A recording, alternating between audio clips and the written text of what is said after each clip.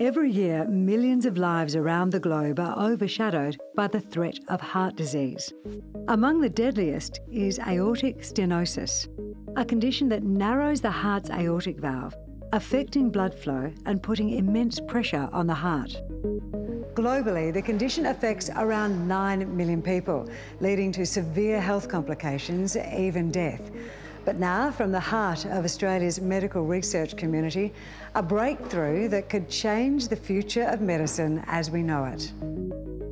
The breakthrough has come about thanks to the clinical and scientific collaboration between doctors Elena Juan Pardo and Abdul Ihdayhid. The research they conducted here at the Harry Perkins Institute founded CoraMetix. As a cardiologist, there's really two options for my patients. If you're young, that's typically open heart surgery and getting a mechanical heart valve. But that requires the patient to be on potent blood thinners for the rest of their life. The second option is a minimally invasive technique where we use valves that are made from animal tissue.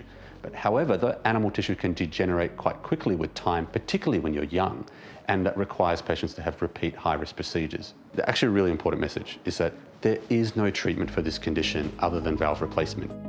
Dr. Pardo's team at CoraMetix has developed a groundbreaking solution, a biopolymer-based 3D printed heart valve that promises to last a lifetime.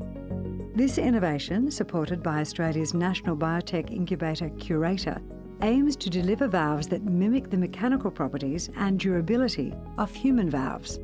So heart valves are incredibly complex. They are very thin yet very strong. They open and close 30 to 40 million times per year without breaking.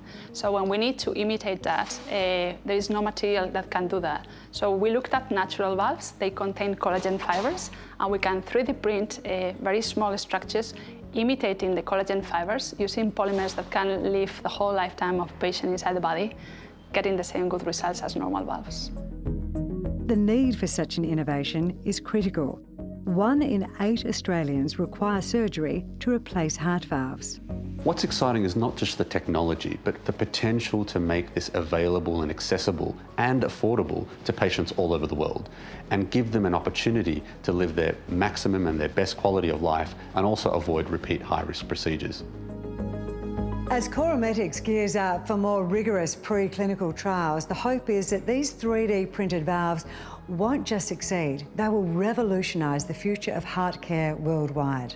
From Australia to the global stage, this is an Australian innovation that could ensure hearts beat longer and stronger, changing the future of medicine.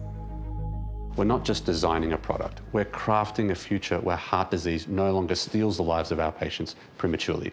And we're eager here at CoraMetix to lead that change and to innovate and to make an impact to our patients.